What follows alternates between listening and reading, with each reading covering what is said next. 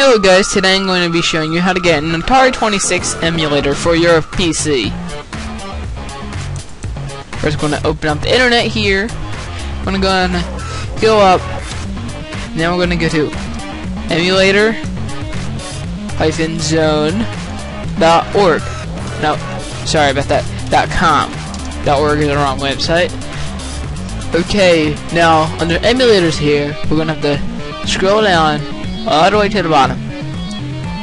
Under more emulators, there is Atari 2600 emulators. You want to click that. Depending on which kind of computer you have, Windows or Windows slash DOS, you get down with those. But since this one has a better rating, uh, and I have Windows, I am going to download Stella, which is better. Now, depending on if you have a 32 or 64 64-bit computer. You have to do this. I have a 64-bit, so I'll download this. And now just save it to your wherever you want to save it. I, I I prefer saving it to my desktop. In there. And so now you can run it. Yes. Next. Now you choose it. Usually it'll automatically save it into your um, program files, but I changed it so it saves to my desktop. You can always change that yourself. And you can also create a desktop icon, but I choose not to do that. Okay, so now we have Stella. Let's put this into Stella. Now let's open this up. Now let's create this as a shortcut so we can put it on our desktop. Oh wait, sorry about that. Create shortcut. I could bring this under there, or you could do the create a this stuff icon thing. Now, yeah, for this, we need to do a new folder. Oh, now we're gonna name this Atari 2600 games. You don't have to do it this way, but I find it much easier if you do. It's way more organized, and you'll be able to keep everything mm, like easy. Okay, now we're gonna go to a website called Romulation. Sorry for the misspellage.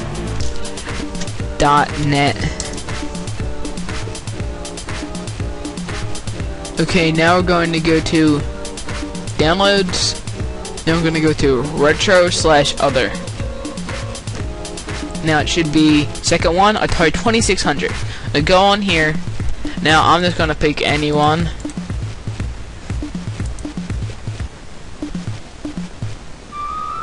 So I will pick Donkey Kong for the Atari 2600. I will download it. Save. And then, um, let's save it to our Atari, Atari 2600 games. And now I'll save it. And now we'll close this. Now we have it right here. So we'll open up our Stella. Now this is different from most emulators. Now, we're gonna have to go into users, then my name, then desktops. Desktop, because that's where I saved under. And now, let's go to Atari 2600 games, then Donkey Kong.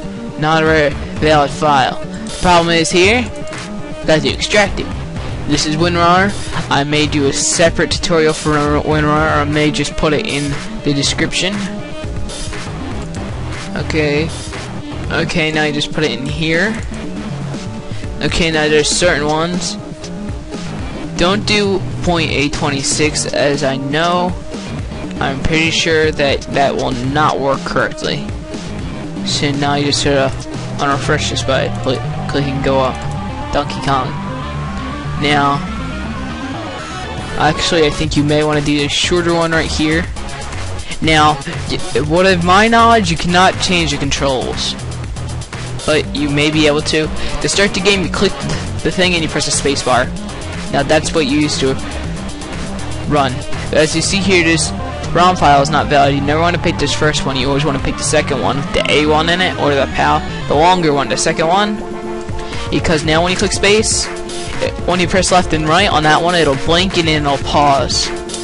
Space is there's only two, bu three buttons left, right, and space, or jump whatever this is in this game it's jump so and of my my knowledge, you cannot change that.